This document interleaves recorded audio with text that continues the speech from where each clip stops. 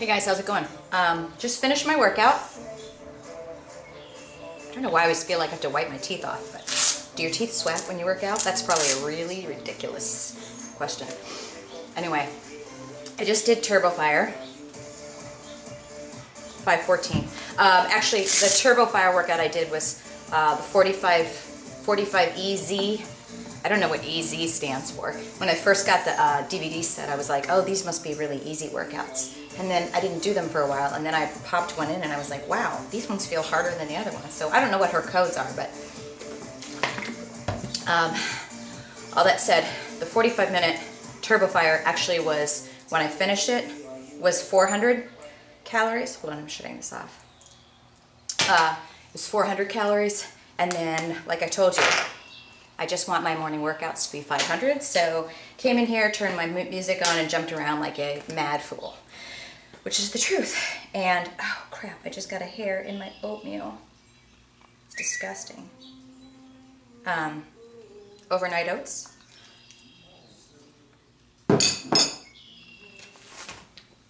One of the few things I can still eat right now. I'm going back to the dentist today.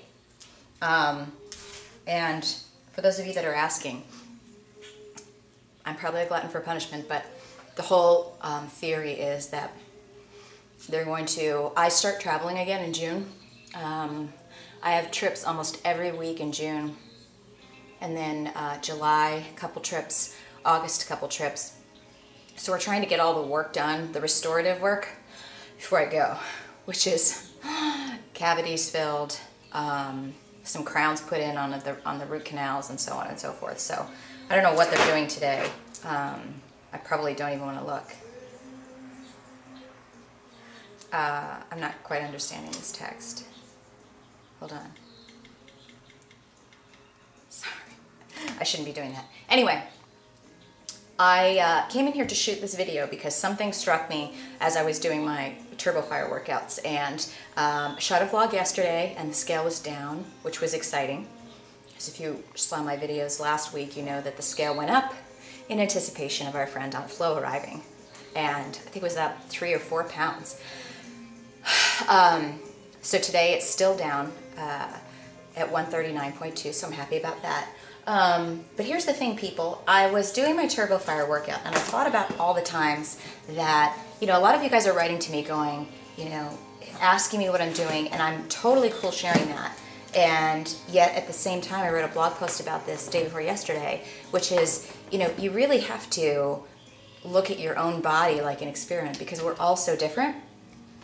And I say that partially because that that's like 50% of it is that you really have to kind of test things out and see what works best for you with diet and exercise. And then the other thing is the big thing, this was kind of my theme for this video, was you just have to ignore, number one, all of the um, unsolicited advice you'll get and the myths, myths that are out there about fitness. And I say myths just because these are people's opinions and I've been around long enough and been pursuing um, fitness, if you will, um, for a lot, several, several years. And I've been around myriad experts, and I think that they're all right to some degree. They're, they all are, are right. The thing is that you have to understand is there's no, I've always said this, and I, it took me a while to learn it, because I used to obsess on like finding the one thing, the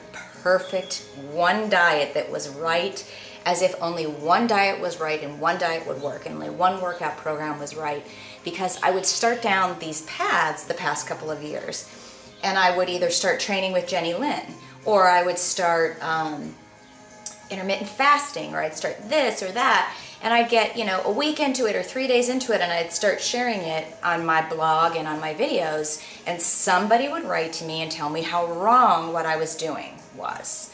Um, I didn't ask them to do this, but there's always a ton of people. And on one hand, I give these people credit. It's hard when you get passionate about you know results and you feel better and you look better you you want to share that with other people but you kind of have to step back and go okay if they ask me i'm happy to share what worked for me. But i think that those people should also disclose hey this is what worked for me. It might not work for you. And so I brought out my little um, box here of the DVDs that I use the most. And I'm just going to use it to reference some of the things that I have been told over the past couple of years. And this is by men, by women, by trainers, by not trainers, by doctors, by nutritionists, by whatever. And it, they all conflict with each other. So as you can see, not only are there uh, hundreds of different opinions and takes on things and new studies, and you can find a study or facts to prove or, or to support any theory that you want. You can have a paleo fanatic over here who does CrossFit who will tell you up and down that you are absolutely insane if you're a vegetarian and you're crazy if you drink dairy and um, certainly if you have anything fake, you know, in a box ever. And if you um, do any kind of cardio, you're crazy. Why would you ever run?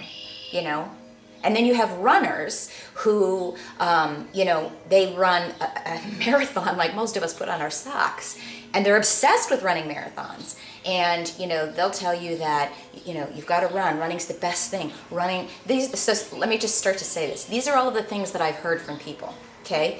And i was always and this is why i would i'd lean this way one day and then i'd lean the other way because i'm like well i don't understand which one's right I would have people tell me that running is the best way to lean out. Running is, is great. It's the best cardio. It's the best way to lose fat. And then you'd have you have tons of women that'll tell you this. Uh, nothing got my legs lean until I ran. Blah blah blah blah. Then I've got people that'll tell me that said it wasn't until I started running that my legs bulked up and I started to get really, because you use your muscles so much, and then I got really bulky legs. And so I stopped running and I did Pilates, and that's how I leaned out. So you can have people that'll say that about running. Then, you know, again, the, the whole CrossFit or circuit training versus isolation training. When I was training with Jenny Lynn a couple of years ago, I can't tell you how many people wrote to me and said, that's so old school. You don't need to train like that anymore. Blah, blah, blah, blah. It's ridiculous. You'll never get anywhere. Guess what? I enjoy that kind of training, okay? And there's just as many people that can argue against CrossFit or against circuit training or against isolation training as there are people that'll argue against running. I had, oh, I don't have it here, it's in my other room. Once I started Insanity a couple of years ago, I met with some guy and he's, you know, he's uber fit. He works out like four times a day. I'm not even joking. He works out a lot. And I told him what I was doing. And of course, this was in the midst of the past two or three years when I was trying to lose weight. And he's like, oh, you will never lose weight. That's way too high intensity. So I had people tell me that HIIT workouts, um, high intensity workouts, they're too high intensity. You can't do it. You, will you'll, you'll never lose weight.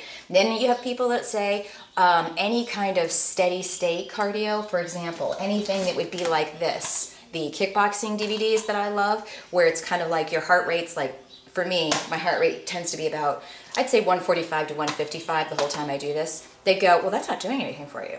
It's not, it's not high intensity. It's not interval training. And, you know, kickboxing, well, that's not, you know, hot and new. And so I'd have people tell me that this is crazy. Does this chick, I mean, I don't know if you can see her. You need to Google her. Ilaria Montagnani. Okay, just Google her and tell me if you think she's not got an absolutely outrageous physique. Okay, Corey, my um, hot yoga, well, he's one of the, um, he owns the studio. Corey is uh, a former bodybuilder. Now he is vegan, uh, doesn't drink, doesn't do drugs, obviously, or anything like that. And he is, he teaches yoga, but he still trains with weights. And he's vegan, and he's, he's competing in a bodybuilding show. He was bodybuilding, but he's got one of the most um, ripped physiques you'd ever you'd ever know. Most guys would look at that and go, "Oh, you know, he there's no." And if they found out he did yoga, they'd be like, "No way you can get jacked like that with yoga."